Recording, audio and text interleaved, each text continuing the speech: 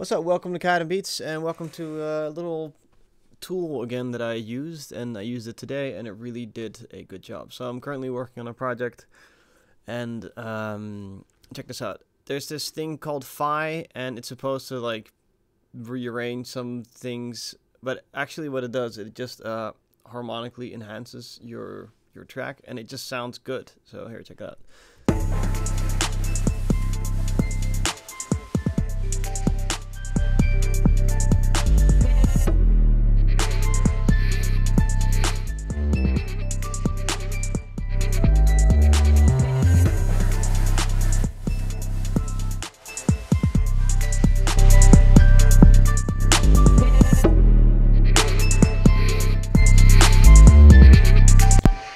I don't know I don't get it. This was the limiter by the way. I don't understand what it's doing. Like it's like putting on an EQ and and it's strange how the snare all of a sudden just becomes more in tune with the rest of the song.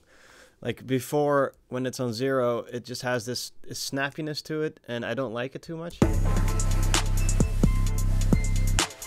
You know, and if you put it on 100%,